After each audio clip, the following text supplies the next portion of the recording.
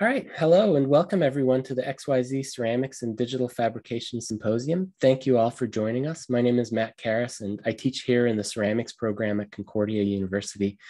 This symposium accompanies this year's Virginia McClure Ceramics Biennial and brings ceramic artists Del Harrow, Eliza Au, Emre Can, Jeannie Quinn, and myself, Mat Karas, together for discussion. There are many people to thank for this. I'd like to start by thanking Troy McClure for generally, uh, gen generously supporting the McClure Gallery and the biennial. I'd also like to thank the show's curator, Amélie Proulx, the Westmount Visual Arts Center and their staff. Thank you, Natasha Reed and Barbara Wisniewski, and Renee Duval. Centre Materia, merci Guy Langevin and the Maison des Métiers d'Art, merci Thierry Plante-Dubé. I'd also like to thank the Office of Research in grad, graduate studies at Concordia University, the Canada Council for the Arts, the Conseil des Arts et des Lettres du Québec, and the Conseil des Arts de Montréal. And I'd certainly like to thank Del Harrow for sharing his time and ideas with us here today. Thanks, Del. Uh, as the virtual hosts of this visit, I'd like to begin by acknowledging that Concordia University is located on unceded Indigenous lands. The Kanien'kehá:ka Nation is recognized as the custodians of the lands and waters on which we gather today. Tiohtià:ke, Montreal, is historically known as a gathering place for many First Nations. Today, it is home to a diverse population of Indigenous and other peoples. We respect the continued connections with the past, present, and future in our ongoing relationship with Indigenous and other peoples within the Montreal community. If you have questions during today's demo, please pose them in the chat and we'll parse through and answer uh, questions during or at the end of the Zoom as possible. For now, I'd ask that you keep yourselves muted and avoid uh, to avoid any background noise. And just so you know, we are recording this event. And now to welcome our guest. On behalf of the ceramics program, I'm very pleased to welcome Del Harrow. Del Harrow lives and works in Fort Collins, Colorado. Del is an associate professor at Colorado State University his art practice spans sculpture and design and integrates traditional manual and uh, skill-based forming processes that with digital fabrication technology. Del has been invited to lecture widely on his own work and on the intersection of digital fabrication and craft in contemporary art and education. Recent, recent lectures include the Syracuse, Syracuse University and the Everson Museum of Art, the Auerbach Endowed Lecture Series at Hartford Art School in Connecticut, and the Current Perspectives lecture series at Kansas City Art Institute. Del's work has been exhibited at the Milwaukee Art Museum, the Denver Art Museum, the Museum of Fine Arts in Boston, and that's just to name a few. Del Harrow, hello, and thank you for joining us. Hi, thanks. Thanks so much, Mat. Um, thank you. And thanks to everybody else who's been involved in coordinating this event. And, and um, also thank you all for coming this morning. Um, so uh, I'm going to kind of switch back and forth between a few different presentation formats. I'm going to start out in the PowerPoint presentation, and then I'll move over to my kind of CAD modeling software screen, and then we'll go back to the PowerPoint presentation, and um, I'll show you some videos of um, kind of working through the process of, of uh, making the work that's in the show in Montreal in my studio. Um, so please forgive the um, technical kind of jitteriness of, of switching between different formats. Hopefully this all works all right. I'm just gonna switch over to this PowerPoint presentation now. Um, let's see. Try that one more time. Doesn't seem like it's advancing.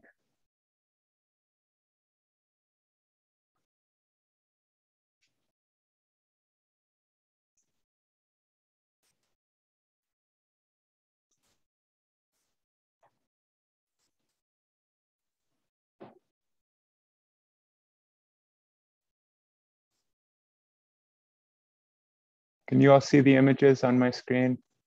Yeah, looks good. To... Okay, great. Um, well, I thought I'd start out by just showing a few images quickly of, of kind of my work more broadly over the last few years. And, and um, you know, I think this is just to kind of say that um, I, I or kind of illustrate, you know, I have a lot of different processes and techniques that I use in my studio. Um, uh, I use, you know, a lot of CNC tools, um, and digital fabrication tools. And then pieces are often also made using really old traditional processes of, you know, coil building, slab building. Um, ideas kind of come for the work in, in a range of different ways. You know, I'm very interested in history and historical ceramics, um, very interested in, you know, kind of philosophy and the history of ideas. Um, and then I'm also, you know, always kind of experimenting, playing, exploring like new tools and processes. Um, you know, whether that's a process for slab building a piece or using plaster to make a mold, or um, you know a process in in the computer in computer aided design software and i kind of feel like in the work you know uh, the the kind of concept the initial concept for a piece or the initial idea for a piece can can kind of equally you know come from any one of those places. And in the work what i'm interested in is kind of weaving those things together you know um, ideas about tools, ideas about the history of technology, ideas about processes, um, ideas about ceramic history, and um, you know ideas from from philosophy and other realms. So um, that's a little bit the case in this piece, um, which is in the biennial. And in a way, um, this piece really began with um, kind of exploring some new tools within the computer aided design software that I use. And I'll kind of show you that um, the technical details of this a little bit more in a minute. Um, but the main computer aided design software that I use is, is Rhino, um, which I think many of you are familiar with. And then I'm often using Rhino in combination with a, um, a kind of application that runs inside of the Rhino workspace, which is called Grasshopper. And Grasshopper is often described as like an algorithmic modeling or a parametric modeling um, application. And what it does is it basically allows you to kind of like write programs, um, but in a very visual way um, and in a way that has been more kind of intuitive for me as someone who doesn't, you know, know very much at all about like writing computer code or anything like that. Um, so this piece really began by exploring this interesting tool inside of Grasshopper. This is a tool that's also, all, all the tools that run inside of Rhino, they all have animal names. Um, there's Grasshopper, and then there's another tool that runs inside of Grasshopper, a lot of them, but this one is called Kangaroo. And Kangaroo is what's called a physics modeling um, application. So what it does is it's modeling physical processes. And I was just kind of exploring, playing with this tool and starting with this really simple form, um, which was just this form of a cylinder. And what you can do in Kangaroo is you can um, start applying physical conditions to an object like this and causing it to deform or collapse um, based on, you know, kind of virtual or simulated gravity. And I was starting with this really simple kind of idea, you know, about this uh, very basic kind of elemental cylindrical form and this process, which I found really kind of strange and beautiful of watching this form kind of distort or collapse. Um, and so I started thinking about, you know, this kind of, again, very elemental form in, in relation to the history of similar forms in ceramics. I'm thinking about things like, you know, um, very old, uh, like water jars from the Japanese uh, tea ceremony, tea ceremony. Um, thinking about, you know, this these um, uh, very elemental forms from mid-century modern design, like this kind of basin form by Gertrude Vasegaard, and um, this kind of thinking about you know what this digital object um, might offer to you know this this idea which i think is already kind of inherent in these ceramic forms where there's something about this you know um, beautiful very elemental kind of geometry and then something about like the material like working with or moving against this right you're seeing something about subtly you know the a sense of material and the force of gravity working on this um, on this geometry. and then, you know, often, kind of always, I'm often thinking about these ideas of the still life um, as a way of thinking about, you know, relationships between between objects and about objects within a space. And so, in my work, you know, I, I'm very much an object maker. I'm interested in making objects, kind of discrete, sort of portable entities, um, things but then I'm also very interested in, in what happens when these objects are placed in relation to one another, you know, the kind of the kind of music of that, um, the kind of the the feelings that are evoked through that. And, you know, an artist who I think about all the time is, is the Italian painter, um, brilliant Italian painter, Giorgio Morandi. Um, so these are the pieces as they ended up. Um, that are that are in in Montreal at the McClure Gallery now, and along with this, you know, these kind of ideas about the cylinder, ideas about gravity, ideas about physical process and deformation. You know, I I also in this piece was was interested in this idea of like kind of creating a conversation between two different elements. Um, and this is another thing, you know, maybe I would say about my work is that it, it often begins with a kind of intuition, maybe a maybe a sort of formal intuition. You know, I've I've been working a lot recently with a with a dear friend, a poet. Um, we've been, you know, collaborating together and and working on teaching a class together. And I've I've started thinking about this idea very much in relation to like the idea of poetry and and what it is to write a poem where you know, in a poem, maybe there are ideas about meaning at the beginning of the process, but there's also a kind of formal process of kind of putting words in relation to each other. And there are similarities between words, you know, kinds of rhyming, but there also might be something happening like between the words in a poem, like a kind of tension or juxtaposition or difference. And there's an intuition about that, and then the meaning kind of grows out of it. Um, and all that is to say, you know, I had this, this instinct about pairing these cylindrical forms with another very different kind of a form. Um, pairing a kind of like the cylinders are a, are a very sort of made thing in digital space and pairing those with a kind of found object. Um, so I'll talk about that a little bit more through the specific um, kind of technical processes of making the work. So I'm gonna switch over now to my Rhino screen. And I don't know, I can't see the chat right now, but if Mat, if you want to jump in at any point, if there are any questions or yeah, need for I'll clarification as I'm as I'm working along, or if I've skipped over something, just let me know. Of course, um, do that. So I'll just switch over now to um, they're going to be moving between a few different Rhino files. Um, can everyone see this one all right? It looks good, yeah. Okay, great. So I'm in the Rhino software workspace now, and that is kind of this window, which you see on the screen here, um, which, you know, you're navigating, for those of you who aren't familiar with it, you know, you're navigating in a way that is, it, it's fairly intuitive. You know, I'm kind of scrolling with my mouse and dragging the cursor around and I'm seeing this, you know, virtual simulated three-dimensional Cartesian space. Um, and, you know, I can draw forms inside of the Rhino workspace in a way that's kind of similar to, you know, any process of like drafting, um, except that I can draw things in, in you know, again, simulated three dimensions here.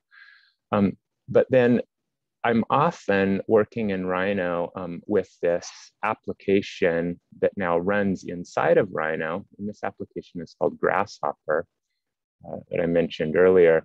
And again, this Grasshopper is sometimes referred to as like a visual programming language. Um, so the way Grasshopper works is, you know, in the same way that I could um,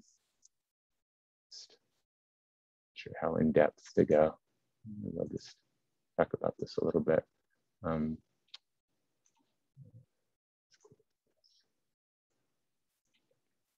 in a new document. So in the same way that I could draw a form in the um, Rhino workspace. So I could draw a sphere like this by kind of dragging and clicking. Um, I can also draw a sphere in Grasshopper. Um, but you do this in a little bit of a different way. So I do this by dragging what's called a component, and this is a sphere component into the Grasshopper workspace.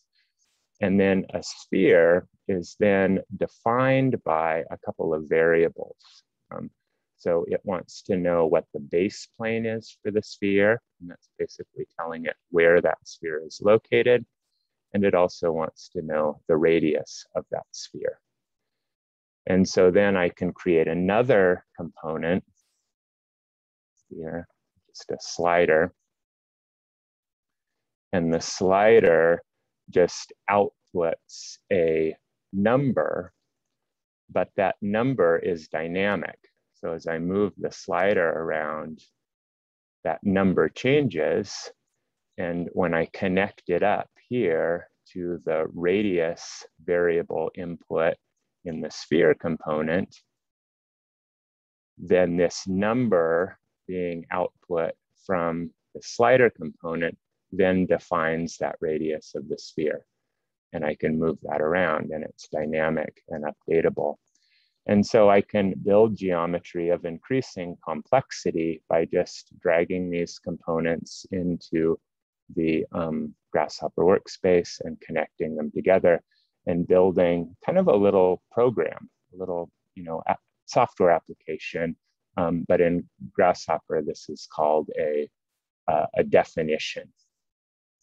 So this is the definition that is used to create these um, collapsing cylinders, all of these forms. And um, it's actually a fairly simple definition, even though, you know, in Grasshopper, things start looking really complicated really quickly. Um, but, you know, basically all it's doing is it's creating a, um, a circle here at the bottom, and then it's taking that circle and then extruding it to create a cylinder. So I can um, update those, you know, variables here, radius and the height here, that, and then um, and then it's turning that cylindrical form into what's called a mesh. So it's kind of um, breaking it up into um, this kind of faceted geometry, um, these triangles. And so I can adjust, you can see kind of the resolution of that mesh by moving these sliders around. Oops. I'm about to crash Grasshopper on my computer this software gets really processor intensive really fast. So it's like I'm running a lot of things right now. Um, so I can adjust the mesh of that cylinder. And then there are these tools, um, which I mentioned earlier, and this is kind of like a really sophisticated component, you know, different than just that little component that I drop in that makes uh, a cylinder. And this is a component from you know, this plugin for Grasshopper called Kangaroo. And this component does a whole bunch of things where I can start determining variables that begin to simulate physical forces acting on this object. So this is like this really complicated thing. I don't really understand it you know, very much. I don't really understand that much about how it works. I mean, I kind of have some thoughts or ideas about it, but this is something I'm just sort of borrowing um, just in a similar way to, you know, any of us using a piece of technology really that we didn't invent, which is most pieces of technology where I'm, I'm, I'm kind of taking this tool and I'm trying to do something, you know, with it um, in my own work, trying to make something with it. So this component um, I begin this simulation, you can see here this force of gravity starting to work on the cylinder and I am defining how much force should be exerted by that downward pull of gravity. Um, the other things I'm defining here are I'm saying like basically each little segment of this mesh is sort of like a spring. And so I can define like what is the relaxed state of it. So, you know, is it the size it is at the beginning or is it trying to constrict into something a little bit smaller or expand out into something a little bit larger? And I can define um, how much force is being exerted by those springs. And I think there are a couple other things happening in this definition. And so then at any point, I can just stop this simulation and freeze that collapsing object in its current state. And then um, I can use this command um, in Grasshopper, which is called bake. And the bake command just takes that model and um, kind of freezes it in the Rhino workspace. So now this form exists in the Rhino uh, workspace, Rhino native workspace. And so I just started by kind of creating a lot of cylinders like that. And I really, I really enjoyed this process. You know, you set up all these variables and then it kind of, it feels a little bit like, you know, being a potter, like throwing on the wheel, you know, something about like, I don't know, someone like Edmund de Waal maybe, and um, or you know Takeshi Yasuda or something like that, and someone exploring these really elemental cylindrical forms, and each one has this thing happening, you know, uh, a little variation in proportion, you know, some little kind of gesture, some sort of um, way in which the kind of softness of the clay reveals itself, and so I was kind of thinking about all of that in this digital space as a kind of analog for that, um, you know, physical process of, of, of throwing a series of cylinders on the wheel. Um, so then after um, creating these forms in Grasshopper, um, the next step is I took them into um, another uh, Rhino file. And basically now I'm starting to think about how to actually make them in clay, in physical material. And I've done a little bit of direct 3D printing of clay. I mean, I've kind of been working with that process for a number of years, but the primary process I use um, when using digital fabrication tools in, in combination with ceramics is to use plaster in some way, to use mold making in some way. And so what I'm often thinking about in the Rhino model is um, how to not only design an, an object that I want to become a clay object, but I'm also thinking about the kind of architecture of how to create a mold and a, um, uh, a, an easy, basically a pretty you know straightforward mold making process.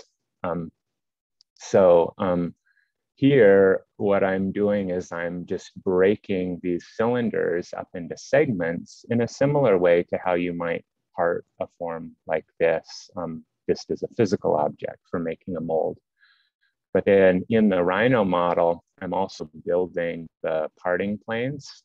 Um, and I'll show you some images of this in a second. The, the way um, I ended up fabricating these is I ended up 3D um, printing not the entire cylinder, but instead 3D printing all of these segments with parting planes in them and then pouring plaster into them and then putting the plaster blocks together. So in a way, what I'm fabricating is, um, or what I'm printing on a 3D plastic printer, I just use a Prusa printer that I have in my studio. Um, instead of printing a complete prototype, I'm basically printing what might be called like a, a, a master mold or a mold for the mold parts. So I ended up making um, kind of three cylinder forms for this exhibition. And this is the Rhino file that's breaking up all those cylinder forms into pieces. So this one has like four segments kind of stacked too high, four segments around stacked too high. This one is eight segments on the outside. And then this one is four segments. Um,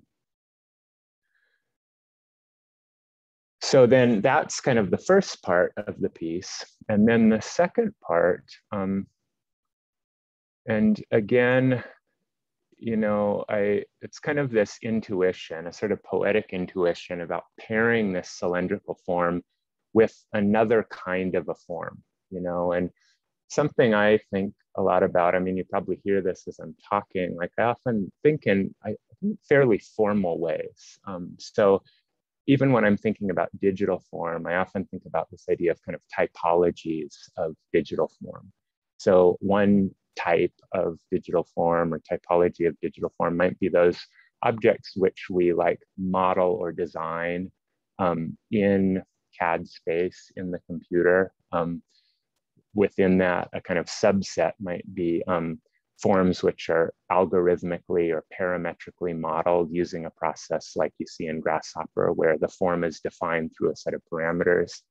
And then maybe a very different typology of ceramic form, or sorry, digital form, might be kinds of forms which um, come from 3D scans of the physical world. And so part of the kind of idea for this piece was to kind of put together these two different digital form types in one piece. And so the second part of the form, which are these sort of small fragments of um, figures, you know, their small hands, small eyes, came from um, it's really, you know, interesting website, kind of incredible resource, which is available on the internet. This just came from a website called Scan the World, um, and on this website are uploaded all of these amazing, really high resolution, three dimensional models of, um, of uh, classical, you know, Greek and Roman statues. And um, often they're uploaded by museums. Um, so there's an amazing collection that comes from the National Museum in Denmark.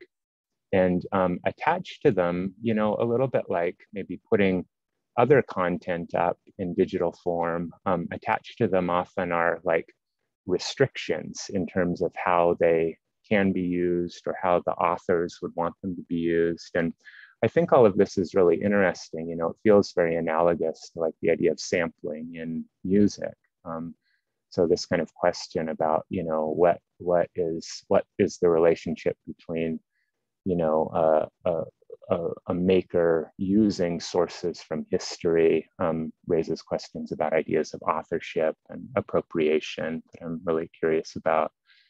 So basically, I started downloading these models and kind of cutting them apart and sampling them. And there's also something, and I'm not, you know, um, kind of overlooking in this process, there's something really strange about that.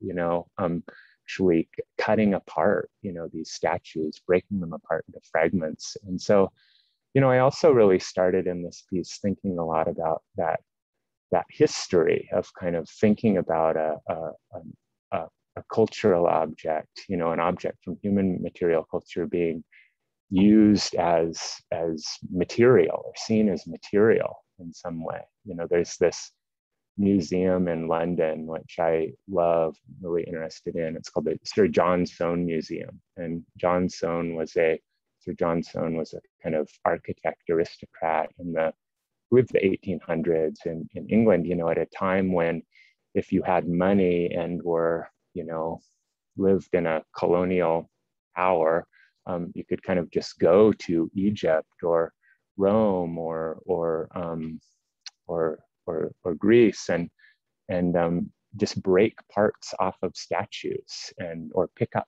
fragments of, of, of um, class, from classical antiquity and, and just take them home with you. And so the John Soane Museum, there are these three um, row houses that he, or three houses which he kind of connected together uh, to create this museum. And the interior is just covered with um, you know fragments of Greek, Roman, Egyptian statuary.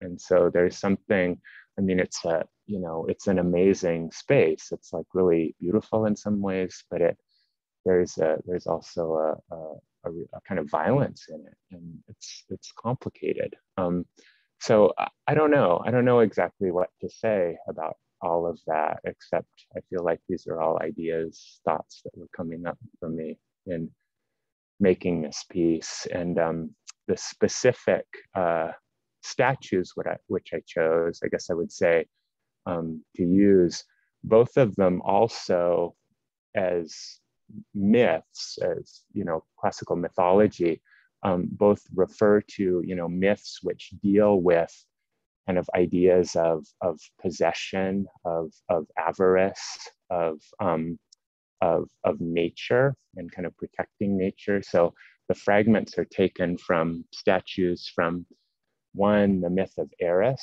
who I guess was a, a goddess of, of jealousy, actually, and, and um, the particular statue depicts this story, this myth in which Eris was um, jealous in this gathering of the gods. And so, to kind of create discord, um, she took an apple and she threw it into this group of gods who were gathering together for some convivial occasion and um, said, you know, whoever picks up this apple is the most beautiful.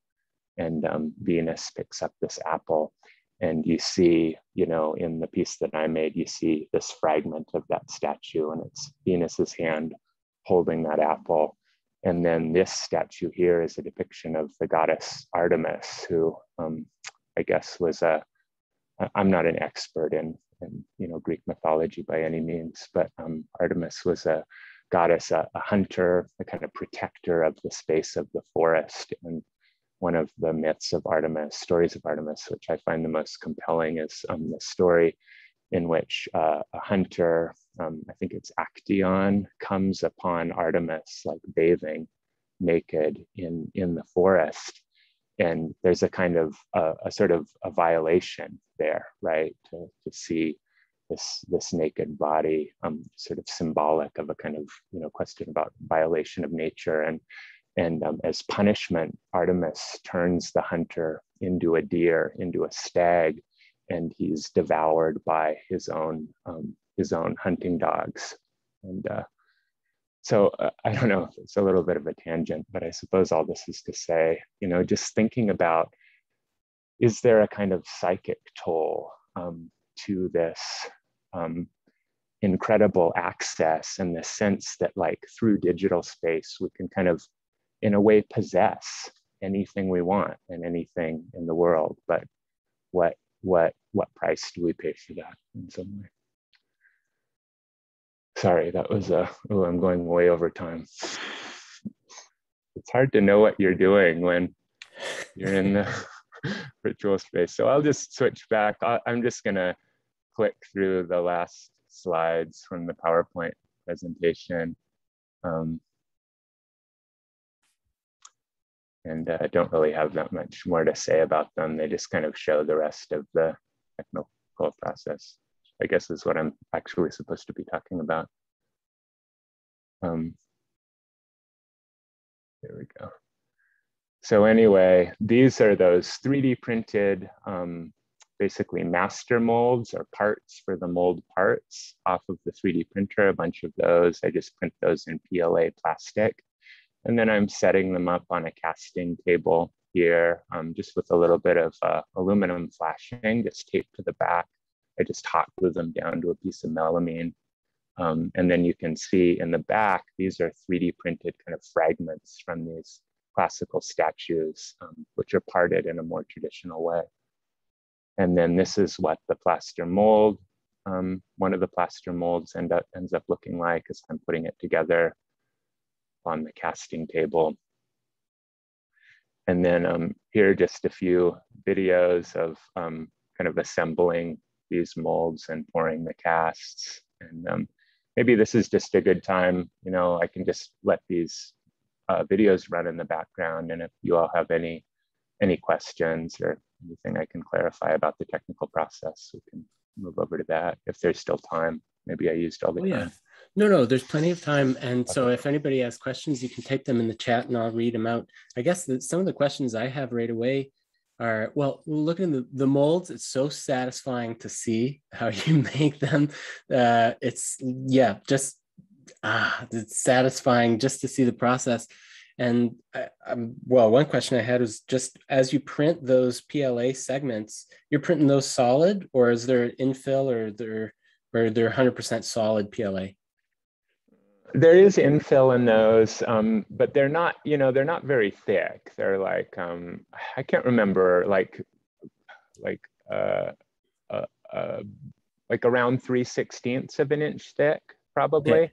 And that was a little bit of just a guess, you know, I was like trying to find a sweet spot there mm-hmm. between something that won't distort through the mold making process and through the printing process too much but also that has a little bit of flexibility so that it'll pop off the plaster nicely. Mm-hmm. Um, but yeah, back to your original question or the first first part of your question, the first kind of piece. Yeah, I I feel like I spend a lot of time thinking about that, and I'm I'm not someone like I don't know if many people do. I don't like love to have my hands in plaster all day. Um, but I really love so many things about like what plaster can do for you as a mm-hmm. you know in with clay and as a as a ceramic artist. So I find like a lot of the work I'm doing in the in the computer, I'd rather do that work like parting an object up in digital space and then have the plaster, the mold making process just be like really clean and really efficient. And um, yeah, I love that about this process that it's like you can pour a whole eight part mold like with one batch of plaster. So there is a real efficiency about it that I, I also really enjoy. Um, they did at that thickness, they did distort a little bit, like the molds don't, they don't fit like perfectly, perfectly together. So I don't know, there might be a little adjustment that I might do there in future iterations. This is actually the first time I've ever used this particular process. I, uh-huh. I do a lot of work where I CNC machine foam and use foam as a, as a, um, like a master mold in the same way.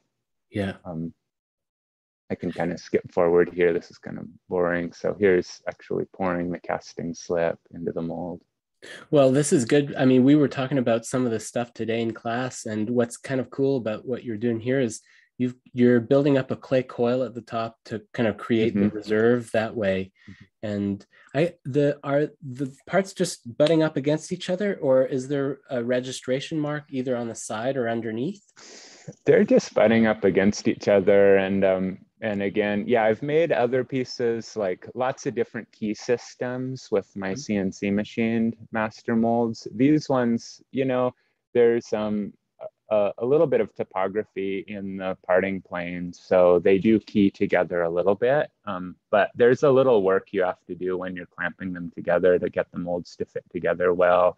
And then, yeah, I'm just using a coil of clay at the top for the reservoir. And I find, I, I don't know, I kind of toggle back and forth in a way between like really engineered, like highly engineered molds where, I mean, I have other molds where I would cast a reservoir and like, you know, have some elaborate key system between the mold parts. And between that and and just, you know, like this one feels a little bit more like I was just kind of trying to get, you know, get the objects out of the mold and trying to do that in as as as fast a way as possible. And mm-hmm. it's nice. So, yeah, it works. And I guess that's the main kind of important yeah. qualifier in there.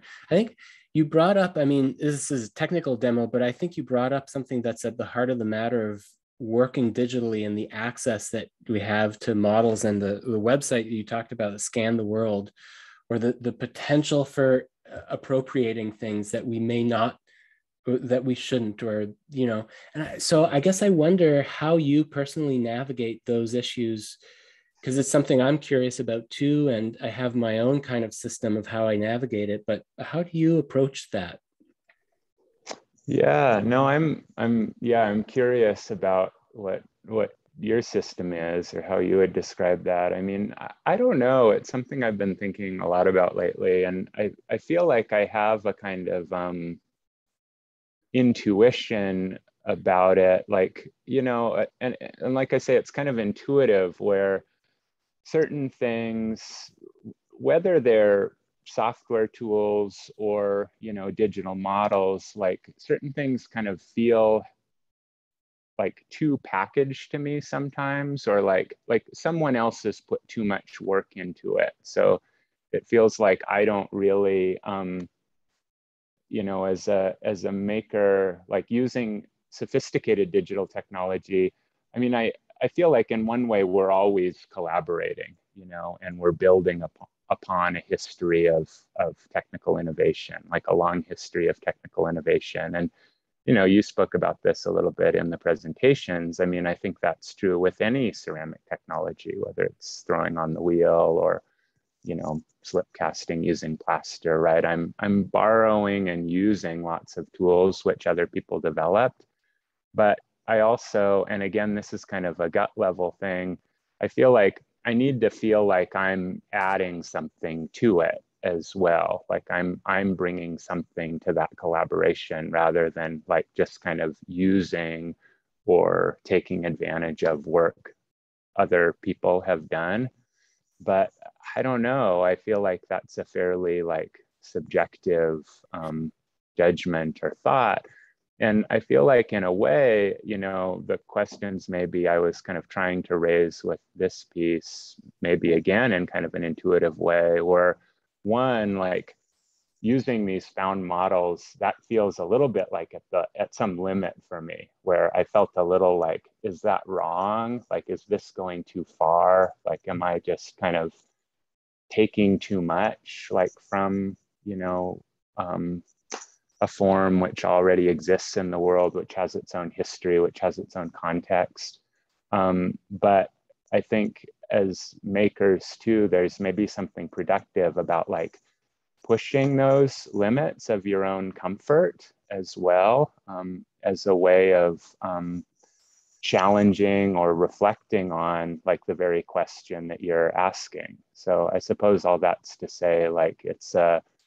it's it's a kind of intuitive process um, which I think involves also like should should involve like kind of challenging the assumptions that each of us might bring to the table and and using the work as a thinking technology you know as a technology through which to challenge our own assumptions or thinking that we make about you know quest, questions of of ethics and aesthetics and appropriation mm-hmm. That makes sense to me. I mean, the the kind of um, contribution component. I mean, one thing I think of in the context of what you've what you sourced in your piece is also, you know, like I learned about Greek mythology through what you kind of your research or your description of it too. So there's a way that it kind of carries those on. And it also doesn't like, I guess my markers are either a social one or an economic one. Does it hinder someone else's social kind of code or is there mm-hmm. something I don't understand in there, which mm-hmm. is a hard one to navigate? Because if you don't know it, then you don't know that you're missing out on something or that you're unaware of something and the other is a sort of economical one are you taking the livelihood away from someone and those two things end up being kind of like pivot points in there i did notice one question over here and it was the part i think where you were emptying out your mold with a shop vac and uh, and it's is that a type of vacuum you're using and is that a shop vac you've dedicated to emptying out your molds yeah, that's a bucket head vacuum. You can see the brand there uh-huh. from Home Depot. I do not endorse Home Depot for a range of other reasons, but yeah. Uh, but yeah, it is. And I wish I could say that was my idea. Um, that was a oops. It's the sound of the shop vac. That was an idea that I stole or stole. I don't know. Uh, the artist Andy Brayman um, turned me on to this technique.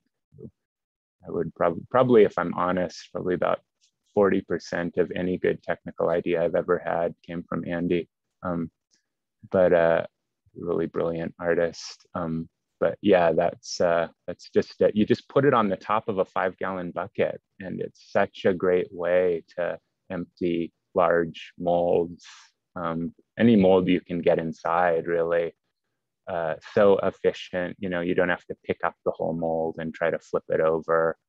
Um, and you get actually a really clean uh, interior of the cast because um, it kind of drains in such a clean way. And then you just kind of get the um, uh, suction like right down there at the bottom. And you can also really kind of vary like the thickness at the bottom of your cast, which sometimes sometimes is useful. I think I saw Andy at one point with this technique, like doing some fun things where he would like drain a mold a little way and then stop and then drain it a little more and then stop. And he'd use it as a way to create some kind of articulation at the rim or the edge of the piece. Um, so I don't know, fun, fun ways you can play with this That's tool process. Yeah, I would never have thought to like have the, the idea of tool articulation in a shop vac or emptying like that there are decisions everywhere or there's the possibility mm-hmm. of articulating something at every point um, mm-hmm. So and then i guess just uh, did, you have to rinse that that bucket head out every time or is it an easy thing well yeah i mean you, the hose comes off so you can rinse the hose off. And um, you know all it's doing is it's just creating a vacuum inside the bucket. And so then the bucket is bucket is what's sucking. Yeah. Um, it's not sucking through the mechanism of the vacuum cleaner so um, it's pretty easy to clean some of the slip often kind of splashes up on like there's kind of a cage inside of the vacuum but it's really it's really pretty easy to hmm. clean mm. um, I just kind of this one, this is like a black casting slip, so it's got a lot of stain in it. And I kind of dedicate this vacuum cleaner to this color of stain. Um, mm-hmm. and you said you were printing in PLA, but I also heard you say like fused plaster. What did you? Fused plaster? Oh, I don't know. I don't know what I was. No, I, I yeah, I'm just printing in PLA. PLA and casting off of that directly. Yeah. And I guess, and then those master molds end up sticking around the studio. You can cast again with them, or do they get deteriorated by that that cast?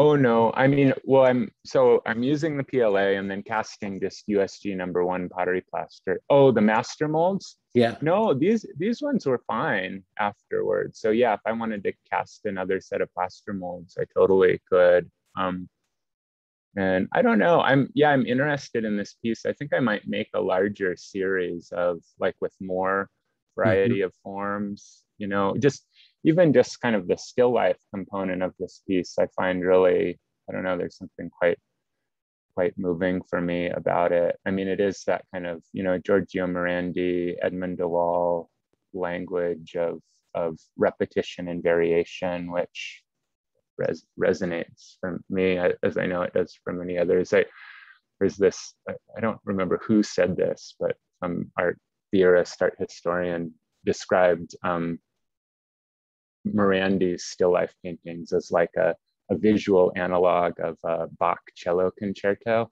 Hmm. And I don't really know that much about music from a you know technical point of view, and I I never felt like I really understood that idea until I heard this interview on Terry Gross with um, Jon Batiste, uh, the uh, musician who is ama- amazing musician in his own right, but he's gained kind of popular acclaim for being the the house band leader for um, Stephen Colbert. Um, okay. But also yeah. Juilliard trained, you know, phenomenal jazz and classical musician. And he was talking about Bach actually in these cello concertos and just describing like how simple they are, like, and how much they're just about symmetry and pattern, you know, and these like very, very simple patterns and scales. And yet there's something in like these subtle variations within that very elemental kind of pattern, which becomes so moving for us. And and um, so I don't know. There's something in this work. I mean, again, something I'm doing really, but just in the way in which these different kinds of geometry, you know, the geometry of the cylinders, the geometry of like the way in which some forms are repeated and the number of different forms and which forms are repeated and then the geometry of um, the faceting in the surface, and then the way in which the faceting is kind of like subtly distorting, where I, I don't know, it just really feels like there's something there maybe to, to explore. It's interesting to hear you form analogies with music. Um, and I find it helpful somehow to think through that. And you were earlier talking about an analogy to poetry and sort of thinking, I guess, as I took it, as you were discussing, uh, looking at poetry and thinking of composition, uh, visual composition, but sort of analogous to poetry. And mm-hmm. I, I, guess um, I wonder how I mean, I see that also as taking place with the digital world. There's something about working physically and then going to that that sometimes clarifies what we're doing by flipping from one mm-hmm. form to the other. And um, I don't really know where I'm going with this question, but I'm curious to know sort of from you. It sounds like the poetry is a new approach, or some there's something novel in there for you. And how has that affected? You know, what has it changed what you're making entirely, or I don't think it has changed it entirely, but what would you say? Yeah, I mean, I think it's um, so the, the kind of main poet who I've been collaborating with is my dear friend um, Dan Beachy Quick, and um, we have been, you know, we're we're working on some a number of different projects together, and we've also twice co-taught this um, experimental class at, at, at the university where I teach, Colorado State University, and the class is just called Pottery and Poetry. Hmm. And um, one of the ideas which has really come forward through that um, class is, you know, this idea that in the same way um, as potters or ceramists or artists, we engage with, you know, clay as a material, and there's some kind of fecund, generative, you know, space which um, emerges out of the interaction between kind of mind, body, and material.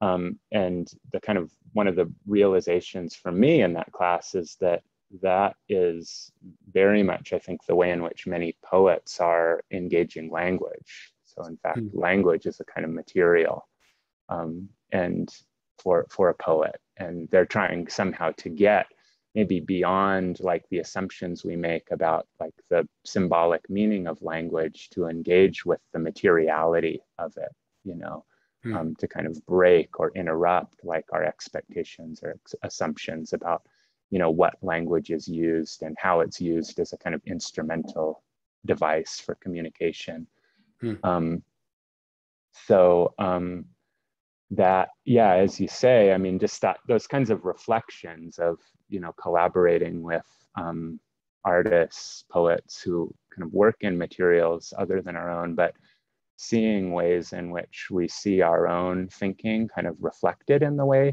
they work i feel like is really powerful in giving maybe giving us other language for thinking about our own work maybe actually deepening or complicating um, the ways you know in which we we we think about our own our own work. So that, that's what i would say about it. I'd say those collaborations have really i think i hope like kind of deepened my thinking. Um, maybe things that i would like overlook or take for granted just assumptions i would make to hear them sort of reflected back through the context and practice and discipline of poetry it's like kind of can heighten your attention to something which you may just sort of jump past or overlook.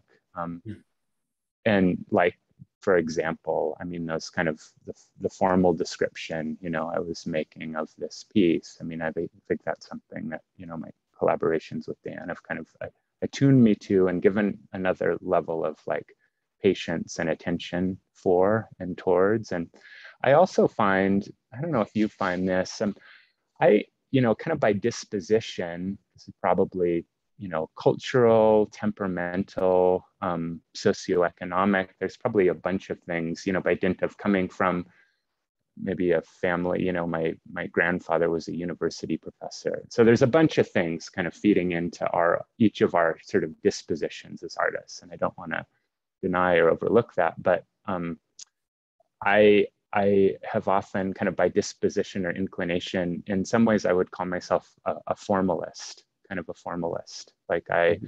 I find that I, I'm excited about ideas um, for work, about thinking about work in a way that comes out of thinking about form, um, uh, mm-hmm. formal relationships, what I would call formal relationships. And, but I also think, you know, in the contemporary art world in some ways, and at certain moments in my own education, that's kind of a, can, there can be pejorative associations with the idea of, of formalism.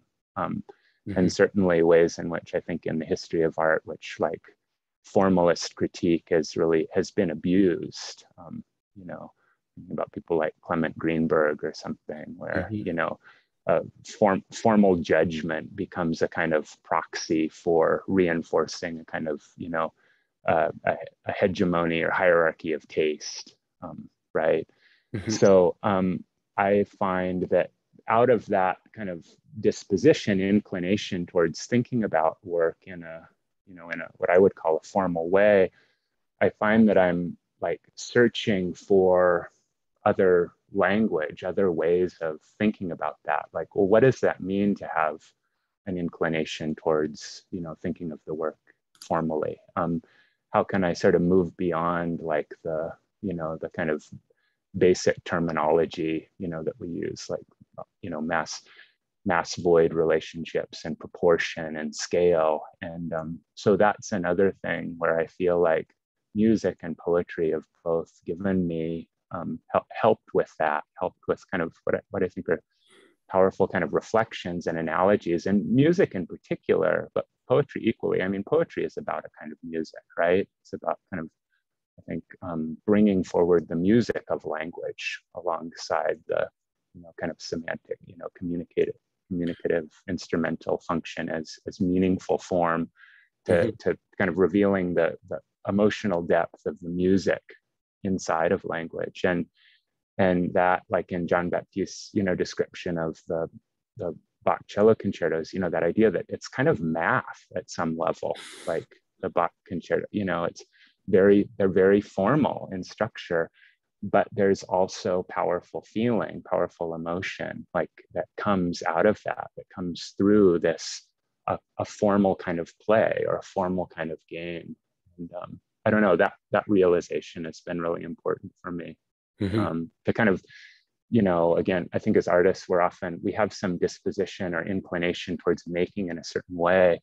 And um, in some ways I, I think we're kind of searching for people thinkers colleagues collaborators who can um, empower give voice to and and deepen those those feelings or sensibilities which we're sort of on the cusp of. Ah, it's super interesting to hear you talk about this. Um, Del, thank you so much uh, for your demo, uh, for showing us the underside of Rhino. Uh, grasshopper, this whole other world yeah. uh, that's a part of it. Um, and also for talking about your work. Thank you. Yeah. Thank uh, you so much. Yeah, really enjoyed that. Appreciate your time. Um, so we've got one more event coming up for this XYZ symposium. It's on Friday at 2 p.m. So join us for our roundtable discussion. And uh, otherwise, I'll see you either in the studio or on Zoom. And Del, take care. Thank you, Mat. Thanks, everyone.